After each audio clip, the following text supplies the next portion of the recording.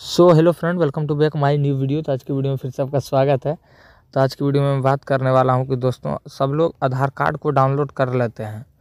But download करने के बाद जो उसको, उसका जो होता है पीएलपी फ़ाइल में पासवर्ड मांगा जाता है, ठीक है? जो पीडीएफ फ़ाइल जो रहता है, उसमें जो है पासवर्ड मांगा जाता है, इस तरह करके।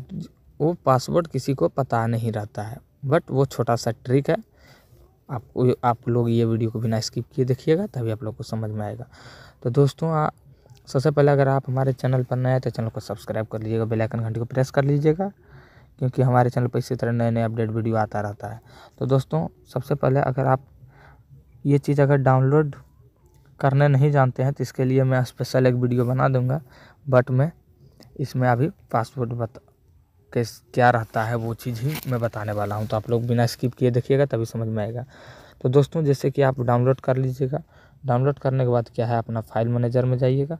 फ़ाइल मैनेजर में जाने के बाद आप लोग जहाँ पर रहेगा वो चीज़, वहाँ से आप उसको डाउनलोड कर लीजिएगा। उसके बाद वहाँ पर जाने के बाद देख सकते हैं, इस तरह पासवर्ड मांगेगा तो जैसे दोस्त दोस्तों, मेरा आधार कार्ड पर जो है, वो चीज़ रहता है, नाम जो है, वो नाम को जैसे आपका जो नाम है, वो बड़ी लेटर से चार अक्षर ही लिखना है। आपका नाम भले कितना ही बड़ा क्यों ना हो बट चार अक्षर कैपिटल यानी कि बड़े लेटर में आपको लिख देना है, ठीक है? उसके बाद आपका जन्म तिथि जो होगा कौन सा वर्ष में हुआ है? तो जैसे मेरा 2003 है तो 2000 में तीन दे के ओपन कर देना है। आपका आधार कार्ड ओपन हो जाएगा। तो दोस्तों, आपको मैं दिखाने वाला हूँ ओपन करके।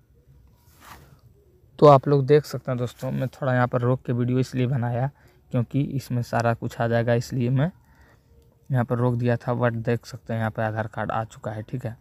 तो अगर वीडियो आप लोग को पसंद आया और कुछ समझ, सीख मिला है इससे तो आप लोग कमेंट में ज़रूर बताइएगा।